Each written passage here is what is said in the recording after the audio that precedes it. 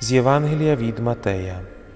Того часу підійшли до Ісуса Фарисеї і, випробовуючи його, питають: Чи дозволено чоловікові відіслати від себе свою дружину з будь-якої причини?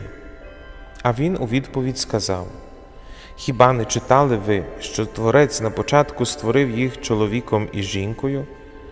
І сказав: Тому залишить чоловік батька і матір і приліпиться до своєї жінки, і двоє будуть одним тілом. То вже буде не два, а одне тіло.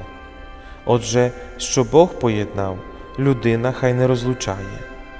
Кажуть йому, а чому ж Мойсей звелів дати розвідний лист і її відіслати? Він каже їм: Мойсей через закам'янілість вашого серця дозволив вам відсилати від себе ваших дружин, але спочатку так не було.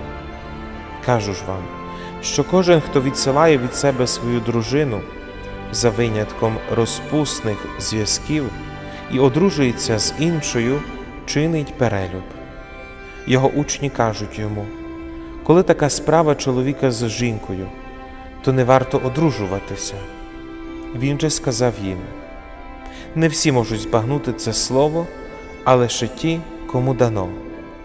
Бо є скопці, що такими народилися зло на матері, є скопці, яких оскопили люди, і є скопці, які задля Царства Небесного оскопили самі себе. Хто може збагнути, нехай збагне.